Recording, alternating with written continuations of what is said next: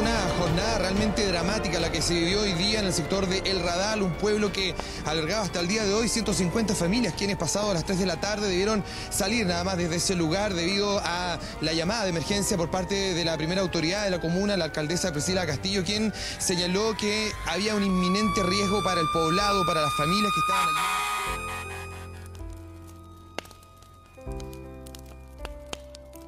Se pasó el fuego para acá y, ahí quedó la, la embarrada. pues, Entonces, aquí tenemos que sufrir nosotros lados.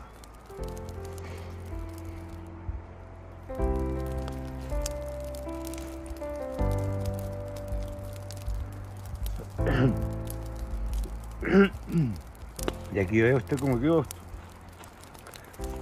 Todo quemado.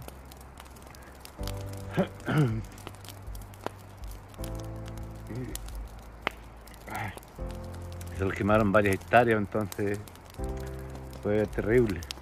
En un minuto se me pasó por la mente que mi esposo se podía haber quemado, porque por la magnitud de las llamas, del fuego, y eso fue así como, yo en un minuto quedé así como en shock.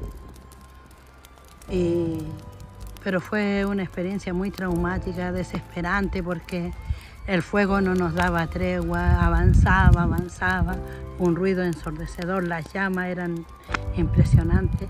Es como, yo, yo lo veo así como haber estado a las puertas del infierno, una cosa así. Pero fue muy traumático.